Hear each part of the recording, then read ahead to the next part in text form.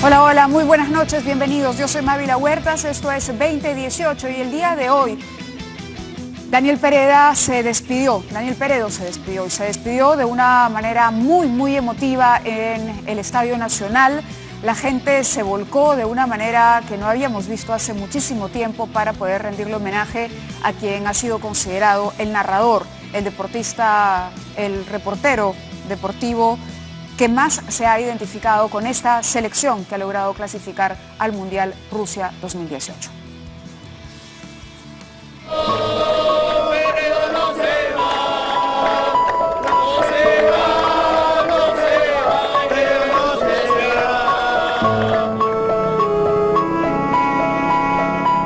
La gente se está despidiendo a su manera de eh, nuestro recordado ex compañero Daniel Pérez.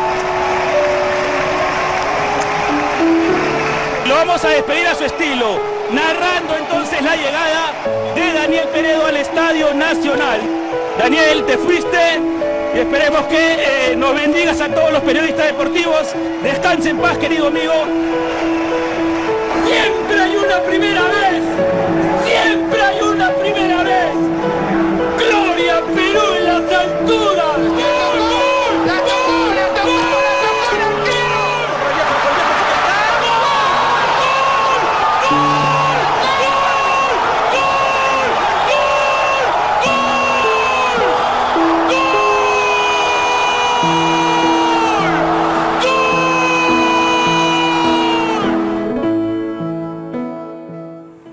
Debíamos empezar. Bueno, perdonen las imprecisiones a la hora de, presentar este clip, pero eh, veíamos en medio de esto la necesidad que tiene además de todas las lecciones que nos deja una figura como la de Daniel Peredo, esta, esta emoción, este profesionalismo y esta entrega, la necesidad que tenemos también de, creer en alguien, los peruanos, de poner nuestras esperanzas en, algunas personas y sobre todo eh, en apreciar, creo que eso lo sabemos hacer los peruanos, saber apreciar a la gente buena. Es, esta es sin duda una demostración de esto. Y simplemente para cerrar la despedida a Daniel, está con nosotros Johan Fano, está a través del Skype, hemos tratado de ubicarlo, lamentablemente no estaba en, en nuestro país, pero me dicen lo tenemos a la línea telefónica, ¿sí? No se pudo con el Skype.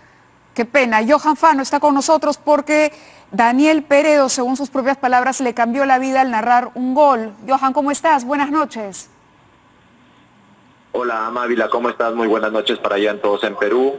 Eh, un saludo para todos tus televidentes y, este es un momento verdaderamente difícil, ¿no? Para todos ahí en el Perú.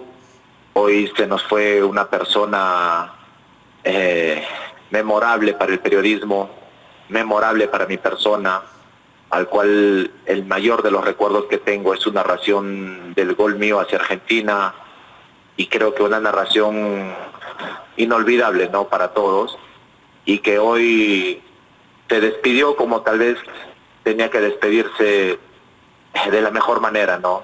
En su casa, en donde él siempre vivió, donde él siempre eh, anhelaba estar siempre que es una cabina transmitiendo un partido, narrando un partido, y en su casa que fue el Estadio Nacional.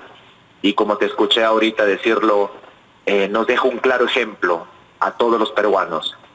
Hay que creer más en lo nuestro, hay que creer en el producto nacional.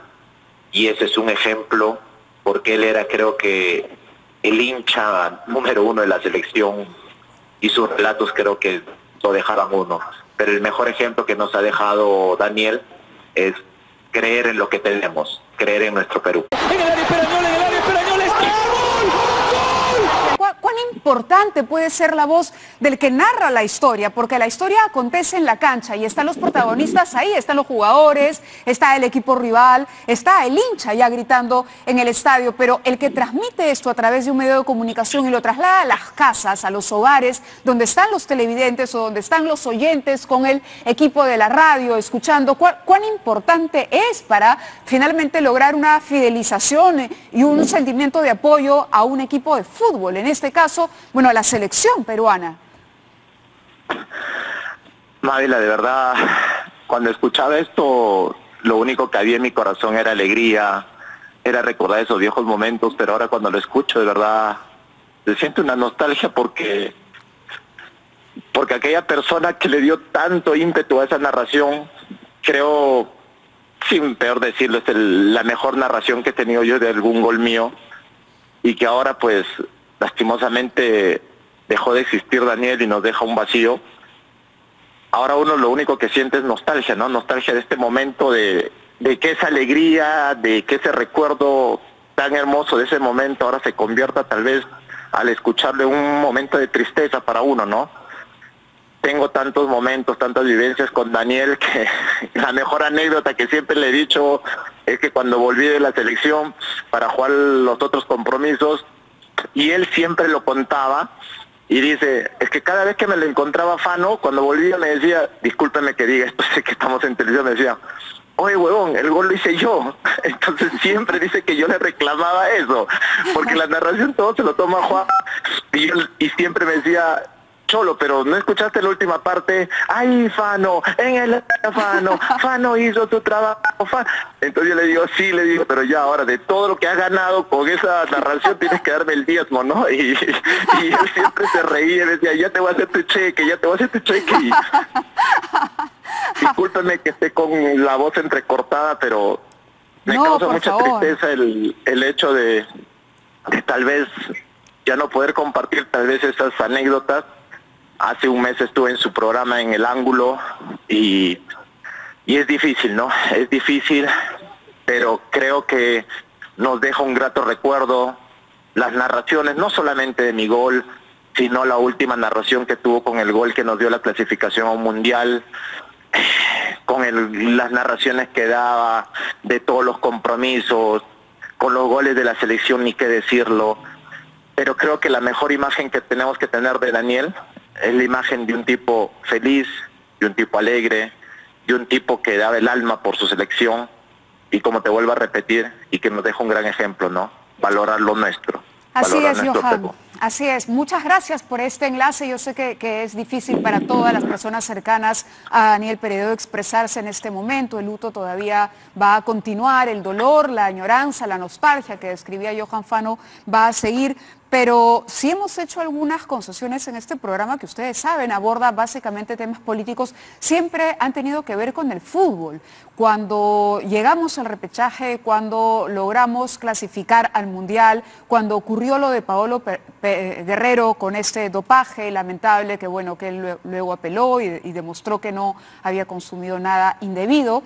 En fin, y ahora con lo de Daniel hemos hecho concesiones porque el fútbol ha logrado en los últimos meses hacer algo que de pronto también le puede servir de lección a nuestra clase política, que es congregar al pueblo en torno al país entero, en torno a un objetivo en común. Y quizá esa sea una lección para nosotros, para los que nos dedicamos a analizar otras esferas, otras temáticas de la actualidad que no sea fútbol. En lo particular yo les he contado, he conocido a Daniel, así que tengo también un gratísimo recuerdo de él y de su enorme conocimiento que compartía con mi padre.